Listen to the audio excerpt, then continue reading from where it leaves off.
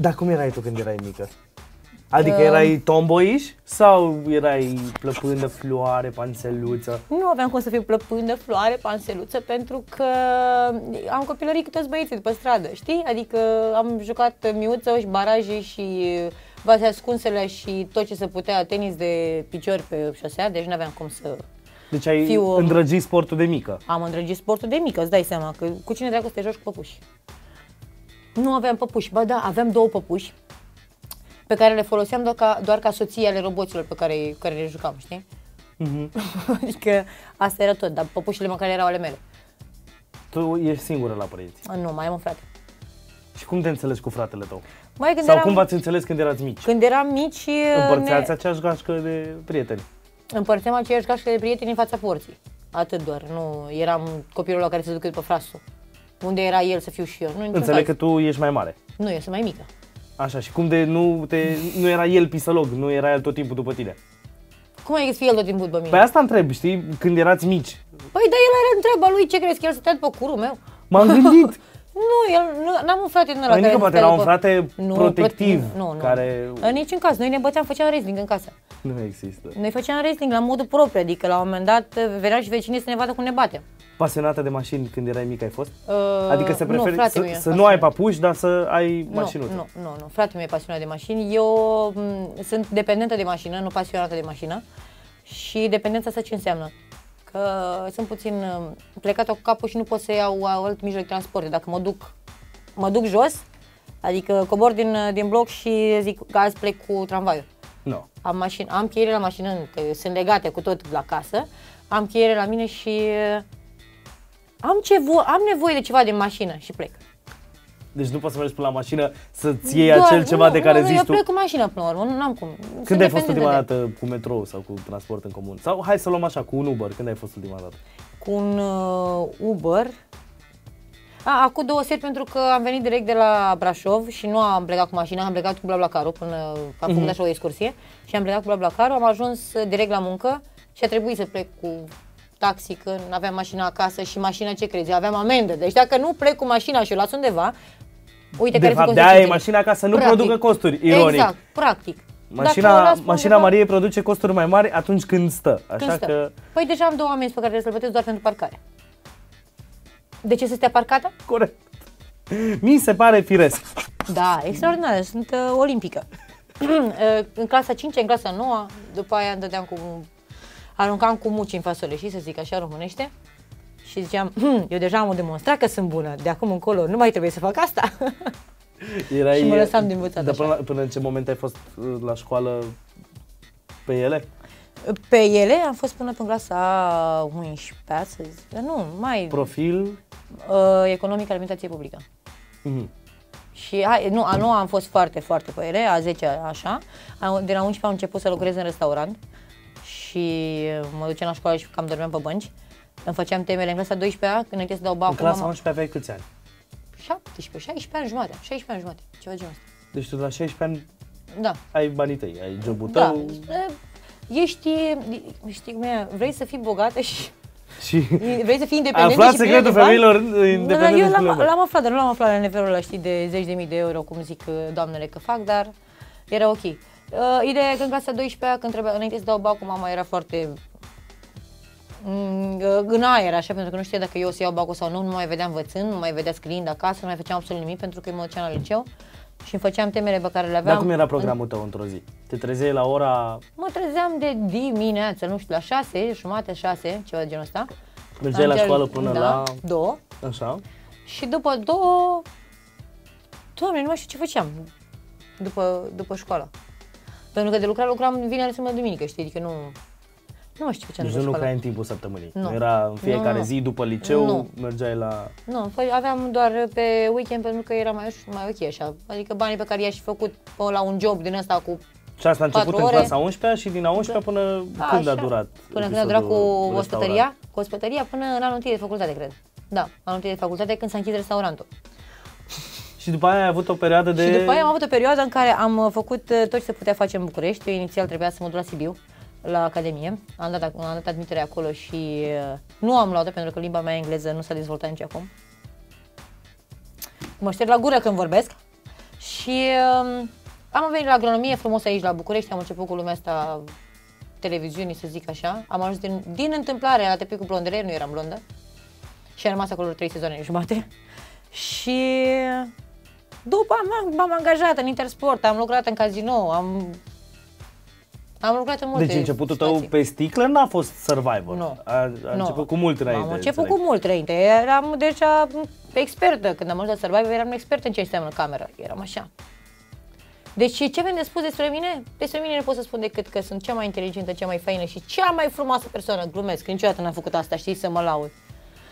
Și Da. cum de n-ai, n-ai mers și în uh, partea de online? Să, nu știu, faci un podcast a tău, să faci un vlog a tău, să faci un Pentru tip că... de conținut care să fie a tău pe canalele tale proprii de comunicare din Hmm. online.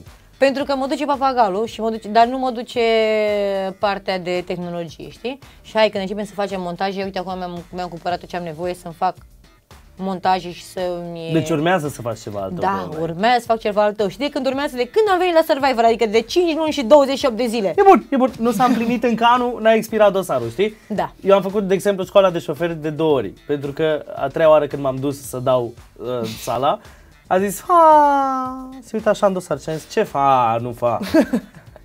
și pe expirat A expirat. dosarul. Am zis, bun. Că am așteptat până în momentul în care să fiu pregătit. Deci dacă nu se împlinește anul, anul este un milestone. Ai voie să întârzi orice... Să te Da, da. pregătești, că nu întârzi, ești în proces de... Eu țin laptopul după mine și uh, sunt în procesul de a învăța cum să face editarea și uh, să văd cum uh, să fac treaba cu camerele, cu chestii. La Adică ce să ne așteptăm? Ce urmează să le... Așa, sneak peek, dacă poți să zici. Sneak peek. Sneak peek, uh, voiam să fac sincer in- inițial, fiind uh, venind dintr-un profil de cafea și de Mhm. cafenele, voiam să fac un uh, mm, tips and tricks despre cafea Mhm. și să descoper cafenele pe care oamenii poate nu le știu și cafenele sunt foarte șmecheri și foarte cozi și foarte într-un fel. Au ceva al lor. Și după stăteam așa de vorbă cu copiii care urmăresc tot ce se poate pe internet și îmi zic, băi, eu n-aș urmări așa ceva. Pentru că e plictisitor. Și după aia te gândești, băi, ce vreau să fac? Vreau să fac ceva ce e plictisitor? Da, da, și vezi mă că- gândesc că vreau să le fac pe amândouă, știi? Adică vreau să fac și ceva interesant, care să fie comic, dar să fac și ceea ce m-am gândit la început și ceea ce mă, mă atrage așa Tipul ca și... ăsta de conținut cu cafeaua există. Nu e Flavizio care e famous pe TikTok? Și cred că e clujan de-a meu, n-aș vrea să Flavizio, dacă mă o vezi, să-l, iartă-mă că o nu să-l știu. caut. Da, și e foarte urmărit, adică poate pare plictisitor Pentru unii, acum pentru depinde ce unii când le public ai. povestești, dar Da. dacă ar fi să vadă conținut, ar zice, "Da, stai, it's entertaining and interesting same time. Deci dacă combini asta, cafeaua cu Caterinca, cred că merge. Te pui cu blondele, după te pui cu blondele ai mers către ce? Șef la cuțite, Așa, Zaza Singh, așa. uh, ai umor, dar nu m-au difuzat, din fericire, nu m-au difuzat. Dar ce a fost cringione în momentul? Uh, nu cringe, a fost la modul transpiram, era o picătură de, de transpirație ai aici, făcut, pe stand-up? vârful nasului, da, încercare, pe vârful nasului și simțeam cum mi se du- curge transpirația așa de pe, de pe fund și se duce pe, pe, pe picior, pe lungul lui și ajunge în bocanci. Deci îți imaginezi, deci în capul meu nu mai era ce trebuie să zic, ci doar cum se duce transpirația pe piciorul meu și să ajungă în bocanci.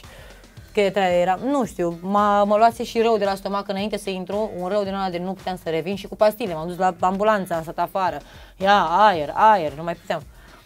Și după, hai, am intrat și mă băgase și prima, pentru că până atunci ridicasem foarte mult stacheta și toată lumea credea că, mamă, rupe Maria, e cea mai amuzant toată lumea. Toți restul calmi, liniștiți, erau în banca lor, pentru că oamenii știau de ce a venit acolo. Eu m-am dus, "Fai, fai, hai că facem. Fu, fu. Și am intrat pe scenă și îmi tremura mâna. Cât de așa, rău a cu fost? microfonul. De la 1 la 10. Dar fii 10 fiind cel mai obiectivă. rău, da? 10 fiind cel mai rău? Atunci, obiectivă. uh, să zicem un uh, 9. Chiar așa? Nu știu, din punctul de vedere, îți dai seama, dacă eu transpiram în halul ăla, tu îți imaginezi ce a fost, nu? Momentul n-a fost difuzat, ca să-mi N-a fost imaginez. difuzat, da, din fericire, Uh, din fericire. A, a, a fost, nu știu, te-a oprit juriul, te-a Uh, oprit publicul. Nu te-a... m-a oprit, a, nu, nici în halul ăsta n-a fost. Deci Deci, pot n-a să spun fost un- nouă. Nu, n-a fost în N-a halul fost ăsta. nouă. Am terminat, mi-am terminat uh, numărul, să zic așa, cu mai multe opriri în care au ținut să-mi spună că semăn cu, semăn cu. Eu semăn cu foarte multe persoane. Cu cine se vede? Uh, la, acolo seminam cu Ilona Brezoianu și foarte multe persoane îmi spun chestia asta, că semăn cu Ilona. Da, în atitudine, în chestii. Really? A, da, poate, poate Știi, pe, în, pe, energie. în nebunia asta da, mea, pe știi? energie poate. Acolo da, poate seamăn, da? Oricum a fost bine. Și după a urmat uh, Survivor-ul.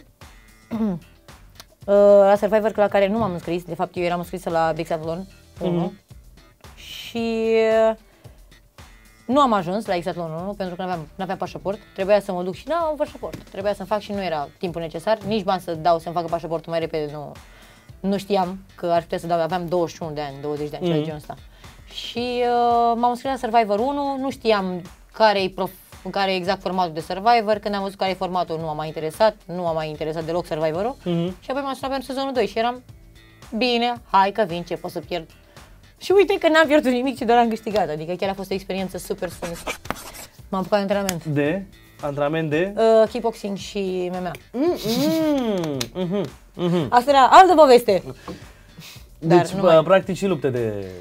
Am început, uh, am început cu un meci la, așa, la, la mișto, să zic, pentru că toate, toate lucrurile pe care le fac în viață încep cu mișto și după aia se concretizează cu ceva mai Așa că dacă am început cu mișto ăsta, vreau să fac ceva mai serios. Deci, mă las pe val. Eu sunt, mă duc cu valul, așa știi? Vine valul în viața mea și eu sunt pe el.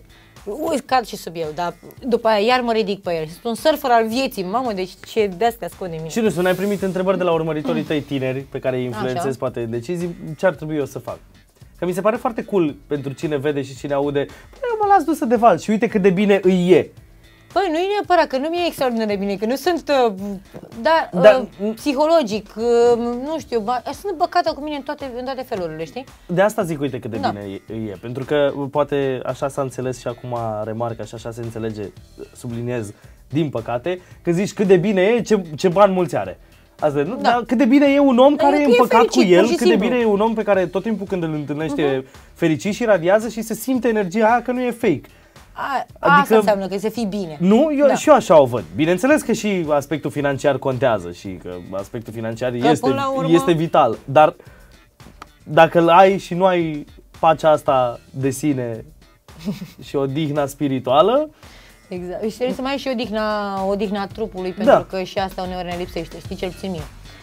Când intru în serii din alea de nopți pierdute, Mă vezi da, așa. asta am vrut să zic că nouă ne lipsește nu pentru că am fi neapărat cei mai muncitori oameni de pe pământ. Exact, pentru că sunt tine și trebuie să ne, și să ne vedem. Tineret, exact.